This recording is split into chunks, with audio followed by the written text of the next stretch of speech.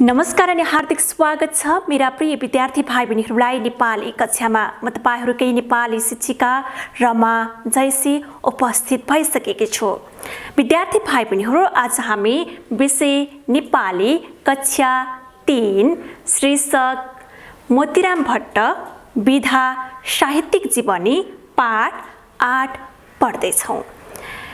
विद्यार्थी भाइ बहिनीहरू योभन्दा अगाडिको कक्षामा हामी चाहिँ केही अनुच्छेदमा छलफल गरिसकेका छौँ।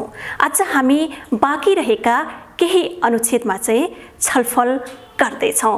हजुरहरूले मोतीराम भट्टको बारेमा केही जानकारी पाइसक्नु भएको छ। युवा कवि मोतीराम भट्टको बारेमा हजुरहरूलाई पनि केही कुरा जानकारी भइसकेको छ। हजुरहरूले चित्रमा पनि देख्न सक्नुहुन्छ। मोतीराम भट्टको चित्र है? आज हामी बाँकी रहेको अनुच्छेदमा छलफल गर्दैछौँ। हजुरहरूले ध्यान दिएर हेर्नुहोला। अनि यो केही अनुच्छेदमा चाहिँ बाँकी रहेका केही अनुच्छेदमा कठिन शब्दहरू हुन सक्छन्। त्यो चाहिँ कापीमा टिपेर पनि राख्न सक्नुहुन्छ। पाठ यसरी सुरु हुन्छ। उनले नेपाली भाषामा मिठा मिठा कुरा लेख्न र छपाउन सबैलाई खचखच्याए।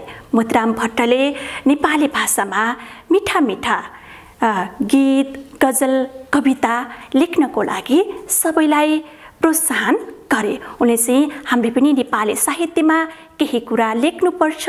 त्यो कुरालाई चाहिँ हामीले छपाउनु पनि पर्छ भनेर चाहिँ उनले सबैलाई खचखच्याए। उनले आफ्ना साथीहरूले लेखेका कविता पनि जम्मा गरे। छपाए उनले चाहिँ आफ्ना साथीहरूलाई गीत गजल कविता लेख्न सिकाए। सँगसँगै उनीहरूले लेखेका ती सृजनाहरूलाई चाहिँ छपाउन पनि मद्दत गरे। उनले साथीहरूले जम्मा भए मिठो भाकामा कविता सुनाउने चलन पनि चलाए। उनले चाहिँ एक ठाउँमा जम्मा भएर आफ्ना रचनाहरू सुनाउनुपर्छ भनेर चाहिँ त्यो वातावरण पनि सृजना गरेका थिए। अहिले चाहिँ विभिन्न साहित्यिक संस्थाहरू खोलिएका छन्। त्यति बेला चाहिँ साथीहरू चम्कट भएर आफ्ना सृजनाहरू सुनाइन्थ्यो। मोदराम भट्ट विक्रम सम्बत उन्नाइस सय बाहन्न सालको आखिरीतिर एफएको जाँच दिन कलकत्ता गएका थिए। उन्नाइस सय उन्नाइस सय बाहन्न सालमा चाहिँ एफएको जाँच दिनको लागि कलकत्तामा गएका थिए। उनी कलकत्तामै बिरामी भए। बिरामी हुनाले उनले यो जाँच दिन सकेनन् उनी चाहिँ परीक्षा दिन जाँदा जाँच भनेको परीक्षा परीक्षा दिन जाँदाखेरि बिरामी भए अनि उनले चाहिँ त्यो परीक्षा दिन सकेनन्। उनी काठमाडौँ फर्किए फेरि उनी चाहिँ आफ्नो देश नेपाल फर्किए काठमाडौँ आएपछि पनि उनलाई सन्चो भएन। काठमाडौँ आइसकेपछि पनि उनलाई फेरि सन्चो भएन। उनी सात महिनासम्म बिरामी भइरहे। उनी चाहिँ निरन्तर सात महिनासम्म बिरामी भइरहे। उन्नाइस सय त्रिपन्न सालको भदौ महिनाको कुशी औँसी तिथिमा उनको मृत्यु भयो। उनको मृत्यु उन्नाइस सय त्रिपन्न सालको भदौ महिनाको कुशे औँसीकै दिनमा भएको थियो। उनको जन्म पनि कुशे औँसीकै दिनमै भएको थियो।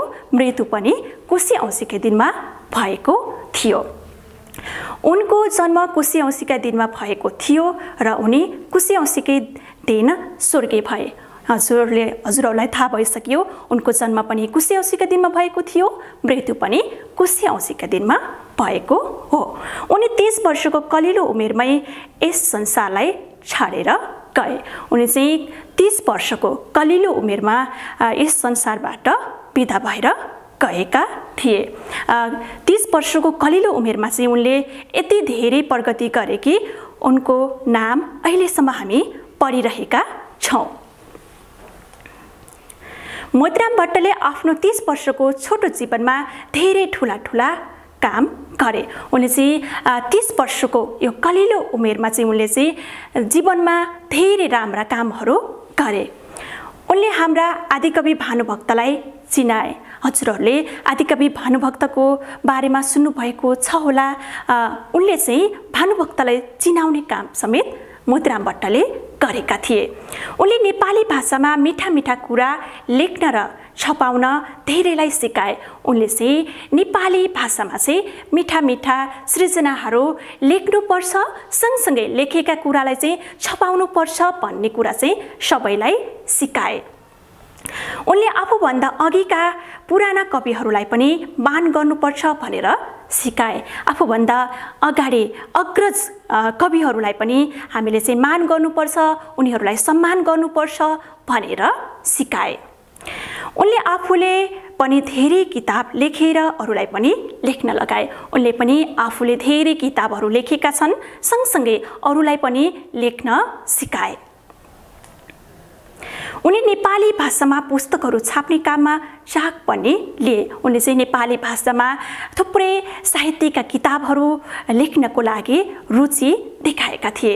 मोतीराम भट्टले आफ्नो छोटो जीवनमा यति ठुल्ठुला धेरै काम गरेर गएकाले हामी उनलाई सधैँ सम्झन्छौँ। हामी चाहिँ मोतीराम भट्टले आफ्नो छोटो जीवनमा चाहिँ ठुला ठुला काम गरेका हुनाले अहिलेसम्म उनलाई हामी चाहिँ सम्झिरहन्छौँ। हामी हरेक वर्ष कुसे औँसीका दिन उनको सम्झना गर्छौँ। हामी चाहिँ हरेक वर्ष भदौ महिनामा पर्दछ कुसे औँसी। त्यस दिन चाहिँ हामी चाहिँ मोतीराम भट्टलाई विभिन्न साहित्यिक कार्यक्रम गरेर सम्झन्छौँ। विद्यालयमा होस् अथवा विभिन्न साहित्यिक संस्थामा होस् उनलाई चाहिँ साहित्यिक कार्यक्रम गरेर भदौ महिनाको कुसे औँसीका दिन चाहिँ सम्झने गर्दछौँ। उनलाई हामी हाम्रा राष्ट्रिय विभूति मान्दछौँ। उनलाई हामी हामी चाहिँ राष्ट्रिय विभूति भनेर मान्दछौँ। विद्यार्थी भाइ बहिनीहरू यो पाठ पढिसकेपछि चाहिँ हजुरहरूले के बुझ्न सक्नुहुन्छ भने युवा कवि मोतीराम भट्टले आफ्नो छोटो जीवनमा चाहिँ धेरै राम्रा प्रगतिहरू गरेर जानुभएको छ। हामी पनि आफ्नो लागि होइन कि हामी आफ्नो देश समाज आफ्नो परिवारको लागि पनि राम्रा काम गरेर यस संसारबाट जानुपर्दछ। अब हामी यस पाठमा रहेका कठिन शब्दमा चर्चा गर्दैछौँ। यहाँनिर दुईवटा शब्द लिएको छु मैले विभूति। हजुरहरूलाई चाहिँ विभूति शब्दको अर्थ नआउन सक्छ। विभूति शब्दको अर्थ हुन्छ देशका लागि धेरै राम्रा काम गर्ने व्यक्तिलाई चाहिँ हामी विभूति भन्दछौँ। देश र जनताको लागि राम्रा काम गर्ने व्यक्तिलाई विभूति भन्दछौँ। सङ्गीत भनेको के हो त? गाउने र बजाउने कलालाई सङ्गीत भन्दछौँ।